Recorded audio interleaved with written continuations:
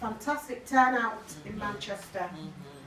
Um, it gives me encouragement and it gives other families encouragement to see that people are coming out. They're seeing what has happened to our loved ones and they're quite prepared to stand up to the police. Um, I'm sure, well, maybe not, um, but a lot of people might have seen what happened to Christopher in 1998. Christopher was an ex-paratrooper. He's fought in the Falklands, and you would have thought that he'd have been given a little bit more respect than he'd been given by the state. He went to a nightclub one night with his friends. There'd been a carry-on inside, which spilled outside. He'd been punched. Now, we all know that this type of thing happens every Friday and Saturday night in towns and cities around Britain, and people are still alive. Um, he was put into the recovery position by the hospital staff. Then um, an ambulance was called, and he was taken to the hospital as a complainant in an assault. The police arrived about 10-15 minutes later. Christopher banged the back of his head. He ended up with a hematoma this size on the back of his head. And we all know that if you have a head injury, it causes possible cerebral irritation. So your behaviour might change drastically. Plus, you know, you'd be mighty pissed off when you've got two coppers coming in, pushing you about when you've just, you know what I mean, been injured. Well, they didn't allow him to have any treatment or leave him alone. They started pushing him about within the hospital, dragging him to the um, to the toilets, leaving the toilet door open while he's urinating, threatening to CS gas him, and eventually, without consult consulting the hospital staff, they dragged Christopher out of that hospital backwards with his feet trailing. Now, they had said in the investigation that Christopher walked out in between them. And all the hospital staff had said he'd been dragged out physically backwards with his feet trailing. So once he gets outside, he's fully compos mentis and he speaks to the security guard. He says, Molly, I'll see you tomorrow. And he's also asking for the coppers' um, names and numbers because he's obviously not happy with the treatment that he's had of them. One of the coppers said, you'll get my name and number in five minutes. He stepped into that back of the van, fully compos mentis, speaking very clearly, and a supposed five-minute journey to the police station, Christopher come out fully unconscious, with his trousers and box shorts down to his knees, handcuffed behind his back. You can see on the video where they drag him in and his head's limp and they're just dragging him. As soon as they get inside, the police are already making excuses. Oh, he was he was standing up to us and he went, he went like this when he was outside outside the hospital and whatsoever. And then they just place him on the floor in his front. He's still handcuffed behind his back, still got his trousers down, and he's, he can't, you can hear him, he can't breathe. He's absolutely rasping for his voice, for some breath. the police officer stood around talking, chatting, trying to find some excuse to charge him with a more severe charge than to prevent a breach of the peace. Obviously because they know the condition that is in. You've got officers saying, when he comes round and we find out who he is, it's not going nowhere. Shall we put him in the foyer, but it's not going to go anywhere? Christopher dies on the floor, 11 minutes. His breathing is louder than the police officers talking. And all they can think about is how they can protect themselves. I saw more than what they tried to make out to me on that video. Because this was my brother.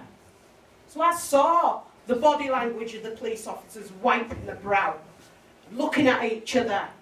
And you could tell there was more to it than meets the eye. But we was only given 11 minutes of that video evidence. And we didn't get given that video evidence until two years later. They had to control the system, the Crown prosecution, the Police Complaints Authority had control of my family's emotions for two years. And when we got got the post-mortem report, there was nothing in that post-mortem report that said that Christopher shouldn't have been walking about till this day. Inconclusive. The same type of excuse that they use time and time again were people that have been murdered by the police. We don't know how they've died, but they can dig up Tutankhamun and they know how he's died. Medical knowledge goes backwards when you're killed by the police. I honestly thought after seeing that horrific video that the CPS would do the right thing. So, because they were panicking, the coroner gave us all the evidence. But they bombarded it with loads of witness statements, about 400 witness statements about what happened at the nightclub. I was interested in what had happened when he'd left that police, uh, that hospital. They tried to bombard us with all these evidence about what had happened at the nightclub. I just threw all that aside. Then I started looking at the witness statements of the police. And I honestly thought that the CPS were going to do the right thing. So we, we got a barrister together for an, Christopher's inquest. The jury of nine ordinary men and women listened to the evidence, they watched the horrific video, and they came to the same conclusion as me, that Christopher had been unlawfully killed. Now you think unlawful killing, somebody's responsible.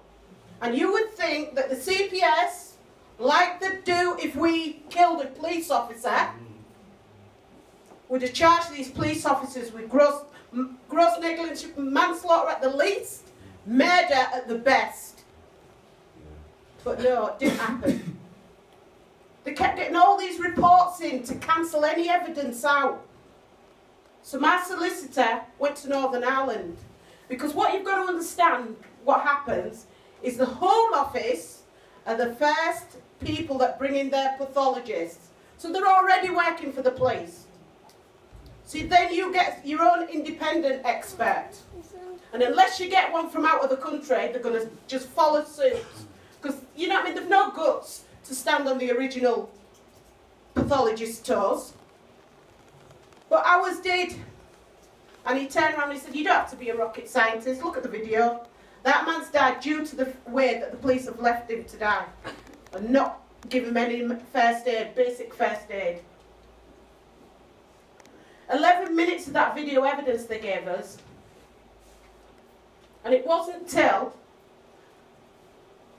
we had an inquest on unlawful killing. Then we eventually pushed the CPS to prosecute these police officers with manslaughter. And what did the CPS do? They basically conflicted their own evidence. Meaning, if they would to prove this is an orange in this hand, they would normally take the evidence that fits that and use that to charge the people. They wouldn't take evidence to say it's an apple and conflict it, and that's exactly what they did in the trial. We had to sit there for eight weeks and listen to the CPS do the job of the defence and watch those murdering police officers walk free out of court. But if they thought that I was going to stop there, they had another thing coming.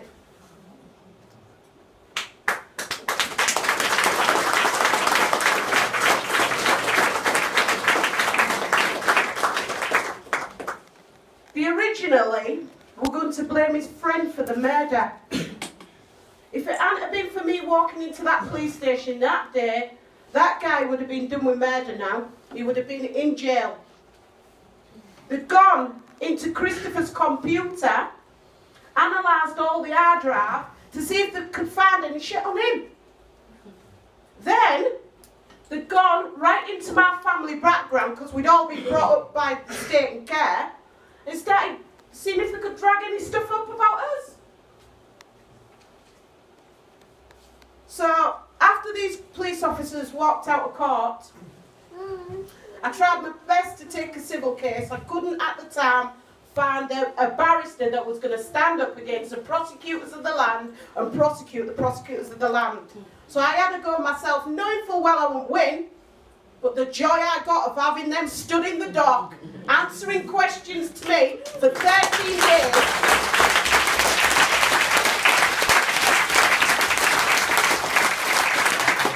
It didn't stop there.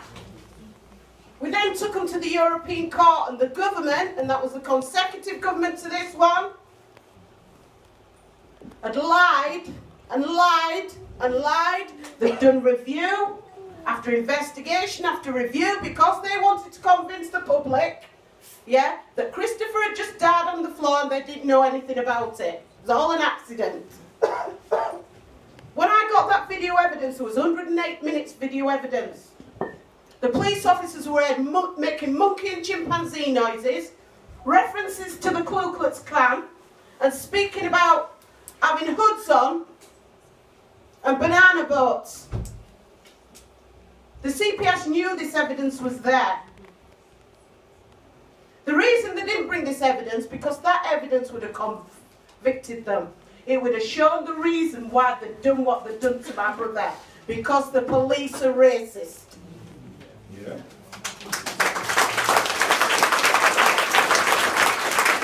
We got to the European Court of Human Rights, and the government at the last minute admitted that they'd failed to do any thorough investigation. Christopher's death was caused by racism, and it was inhumane and degrading the way they left him to die. And that took 14 years. 14 years of my life, 14 years of my family's life.